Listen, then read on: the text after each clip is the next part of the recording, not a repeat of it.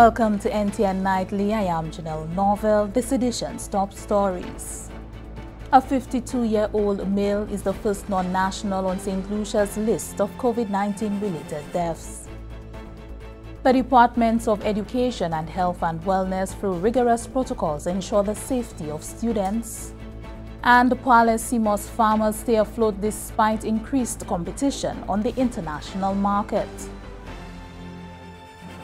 The Department of Health and Wellness on Wednesday, 13th January 2021, reported that four more patients at the respiratory hospital have recovered from COVID-19, while 12 more have been diagnosed with the virus.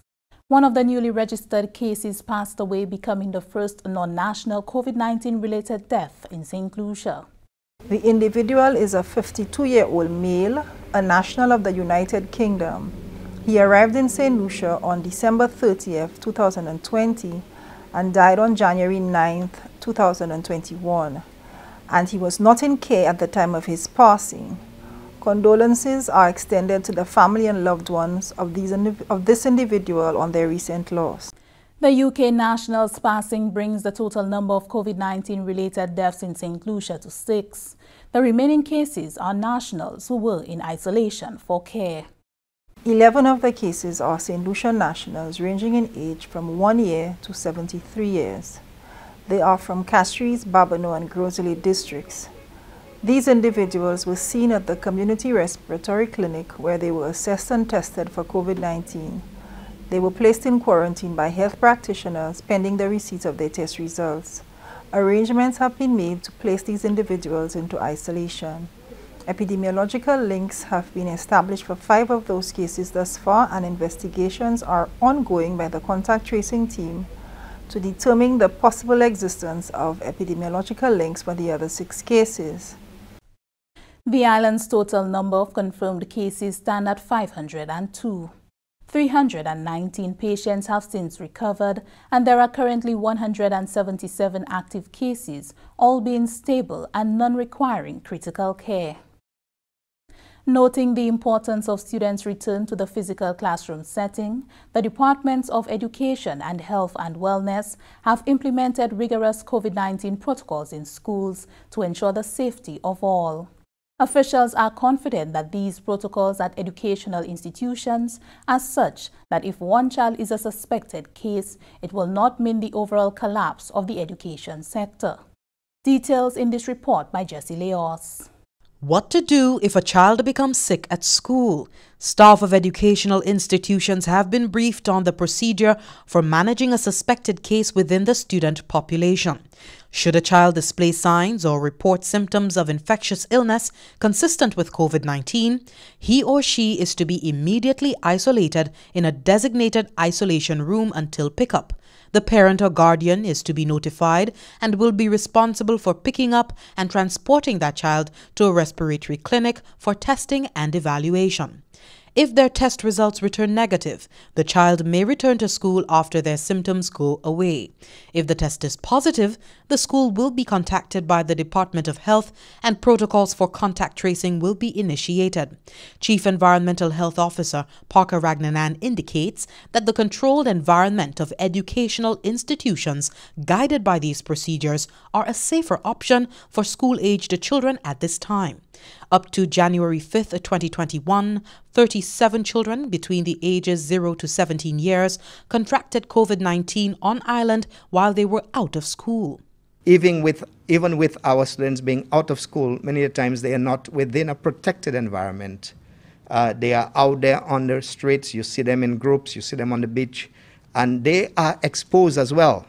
And so the question really is the exposure at school. How much more exposed would a child be at school as compared to not being at school?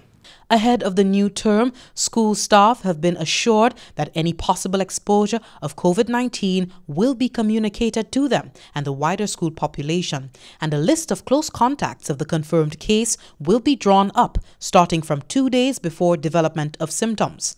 Close contacts will be notified, tested, and quarantined for 14 days. The classroom occupied by the confirmed case will be cleaned and disinfected, and the diagnosed student will be isolated according to protocols. He or she will be isolated until the symptoms clear up and a new PCR test result comes back negative. Only then will that student be able to return to school. Last October, all schools on island were closed when a Castries comprehensive student tested positive. Ragnanan suggests that it will take more than one positive test to shut schools again. You would re remember the domino kind of effect that this one experience had on the island. The question is really if there is a situation at one individual school should every school on the island remain closed as a result? That is the question. And therefore, in all other business sectors, so we've had uh, um, persons uh, at, at different business places who have contracted the disease but have we seen all business businesses shut down on the island? So we need to look at it very, very carefully and take very strategic approaches in terms of how we do things. Health officials refer to evidence which shows that children are less likely than adults to be transmitters of disease and that child to child transmission is uncommon. For the Government Information Service, I am Jessie Leonce reporting. The Department of Education, Innovation and Gender Relations during a recent press conference indicated that many factors had to be considered in the closure and subsequent reopening of school. One such factor, according to Minister for Education, Honorable Dr. Gale Rigobert, was the overall well-being of students. The minister noted that school remains a safe space for a number of students. One of the issues we struggled with when we were previously forced to close schools.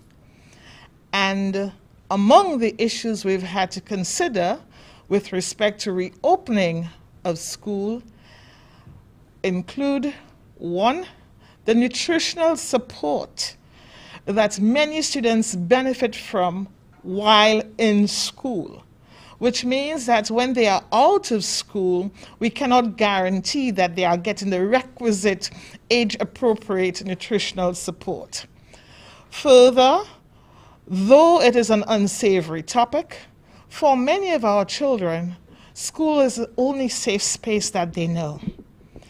And uh, our school counselors, who fall under the leadership of Miss Eugene, along with other stakeholders, have been very keen to ensure that we can bring those students back into schools, which is really, for many of them, a very safe space.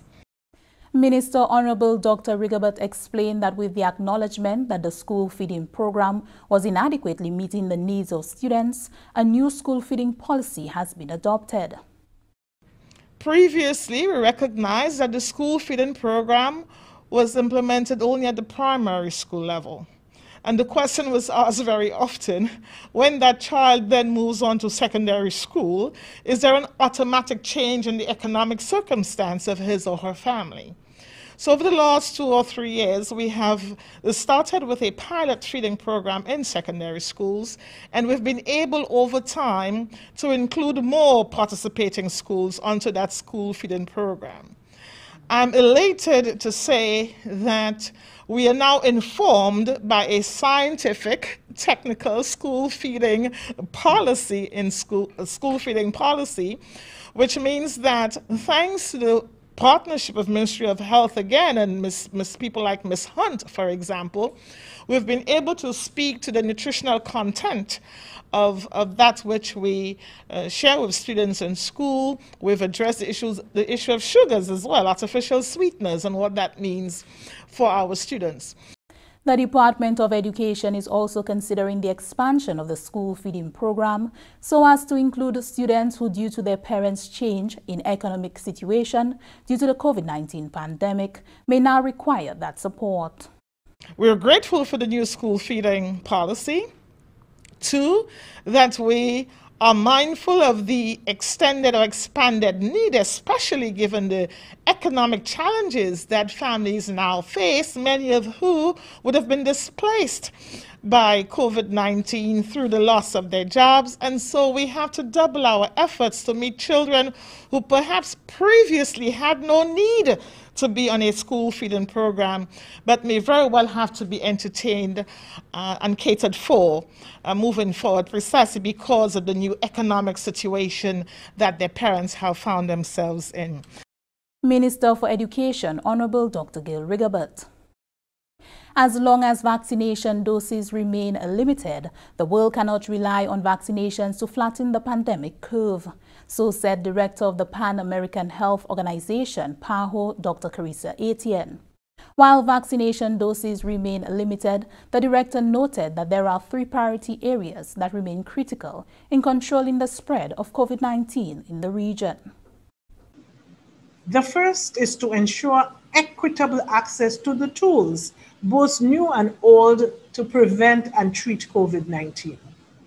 We must ensure that health workers have the protective gear and equipment that they need to do their job safely, and that every person who requires hospitalization can access the basic medications they need, ICU beds if, if that is necessary, to manage and treat the conditions. This is especially challenging as cases surge and supply chains are strained. With the arrival of vaccines, we must ensure not just that doses are produced quickly, but they are equitably delivered and swiftly across every country, regardless of income. This, Dr. Etienne explained, will require global and regional collaboration and solidarity with donors, pitching in resources through mechanisms like the COVAX facility. Another priority area is the quick action by leaders in the region to foster unity.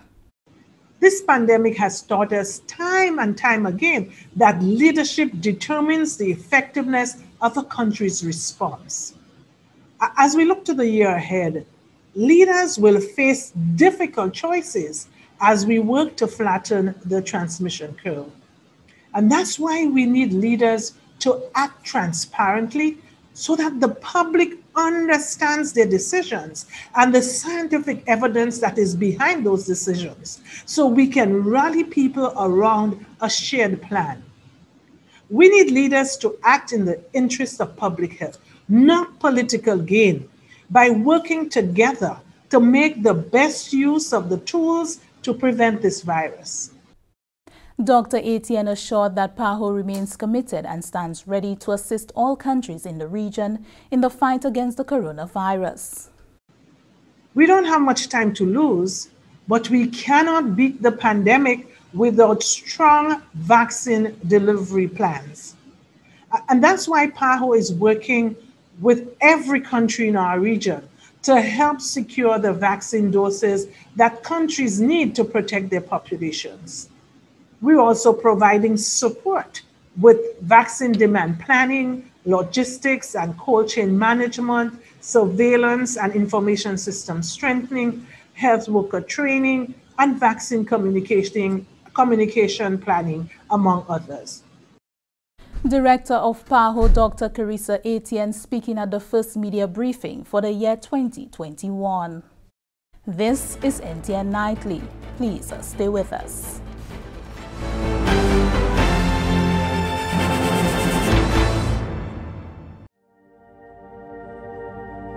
COVID 19 is a new pandemic disease as declared by the World Health Organization. It is transmitted directly by respiratory droplets when an infected person coughs or sneezes, or indirectly through rubbing the face with contaminated hands. There is still no specific treatment or vaccine against COVID 19, and as such, the farming community should adhere to some special recommendations. Reduce your farm labor to only essential workers. Ensure regular hand washing with soap and water, or use 60% to 95% alcohol based hand sanitizer until soap and water are available.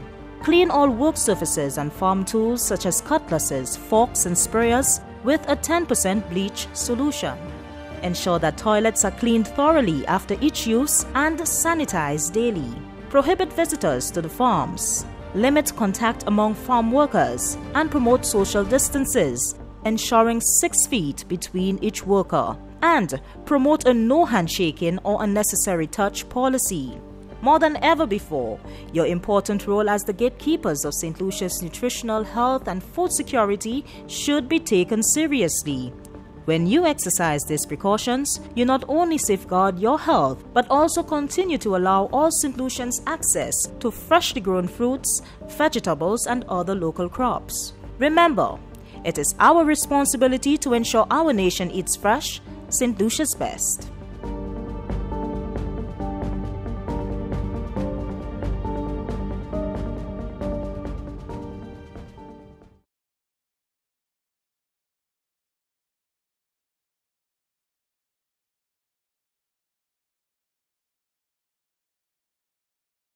Welcome back. The Praslin CMOS Farmers Association, guided by Export St. Lucia, have maintained their exports despite increased competition on the international market for the high-priced commodity. Details in this report. Export St. Lucia says the island's sea moss still attracts a higher price than any other sea moss on the market, despite increased competition from Latin America and other Caribbean territories. However, some sea moss farmers on island have noted with anxiety a reduction in rates per pound since more players have entered this mariculture business internationally. CEO of Export St. Lucia, Sunita Daniel, weighs in on this concern the international market price would go down because you have so many entrants to the market now you'd find that there would be complaints. Um, so they have to decide on their own whether for their business model they could they should continue um, exporting sea moss or not. What we want to advise persons is that the market for sea moss remains, the demand for sea moss remains, what you should not expect, and I don't think any business person should really expect, is to get abnormally high prices for your sea moss. Export St. Lucia works with the Praslin CMOS Farmers Association, and Daniel reports that the association maintains high standards in the market and turns a profit. We, as a government agency, have continued to work with our sea moss farmers. We continue to give them the support that they require. We continue working with them on their packaging and we continue working with them on the quality of products. The farmers we work with are selling their sea moss and they're making a profit. She encourages private entities operating sea moss farms and exporting to submit a quality product. We've had a lot of persons not exactly doing what they're supposed to do in terms of maintaining the standards, in terms of how um, the branding and the packaging of the product is supposed to be done. So the farmers we work with know the standards. They know the branding, they know the packaging requirements. A lot of persons have entered the market, are doing their own thing, and so this is what would happen when, when they go on their own. The Export St. Lucia CEO laments that buyers have reported substandard sea moss coming from some private local entities that do not have any ties with her organization. This, she says, is impacting the sector's reputation. We know of persons who have exported substandard sea moss. We know distributors will send us pictures and tell us, this is the sea moss we're getting. We don't know those persons. These are persons, private individuals who have gone out and sold sea moss and doing their own thing. And the product is now, the product they're selling is so substandard that it's now affecting the entire St. Lucia sea moss brand. So we want to caution persons, um, if you're entering the business, to do it right. Daniel advises sea moss farmers who may have issues with production to seek guidance from the Department of Fisheries and for branding assistance, export St. Lucia. St. Lucia's is the first profitable cultivation of seaweeds in the Atlantic Ocean or the Caribbean Sea. For the Government Information Service, I am Jessie Leonce reporting. Mandatory pre-departure testing for all international arrivals to England will come into effect worldwide from the 15th of January 2021, including for passengers departing from Dominica, Grenada, St. Kitts and Nevis, and St. Vincent and the Grenadines. A limited exemption has been granted until the 21st of January for clock Greenwich Mean Time GMT for arrivals from Barbados, Antigua and Barbuda and St. Lucia to help Britons in these countries return home.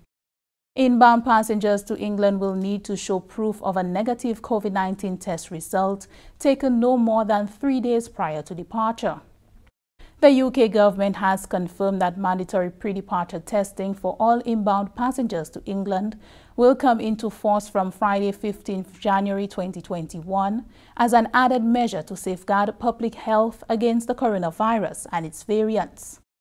A limited exemption has been granted until Thursday 21st January 4 o'clock GMT to help Britons in Antigua and Barbuda, Barbados and St. Lucia return home.